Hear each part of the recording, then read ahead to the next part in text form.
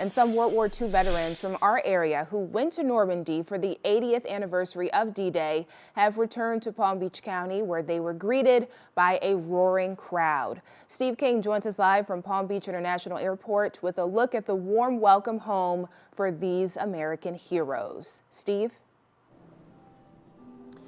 Jade, well, hundreds of people gathered to greet two World War II veterans who returned here to Palm Beach International Airport earlier this afternoon, and the group was showing their appreciation for everything those veterans did during World War II to defeat the Nazis.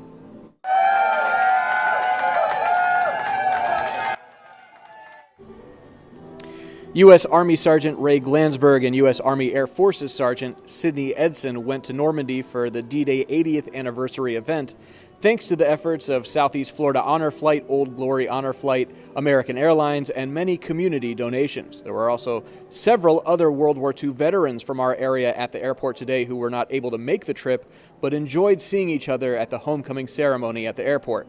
U.S. Army Air Forces veteran Sidney Edson, who went on the trip, shared his thoughts on the 80th anniversary event, and Army veteran Robert Kreco reacted to the outpouring of support today. I came on the trip only for one reason to make my respects to the guys that really had it tough and, and did the job. And once they secured the beach at a tremendous cost, the war was won.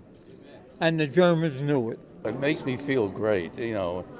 And I, am amazed that all these younger people uh, are so uh, affected by what we did. And Southeast Florida Honor Flight organizes four trips for veterans every year. The next one is set for September. Reporting live in West Palm Beach, Steve King, WPBF 25 News.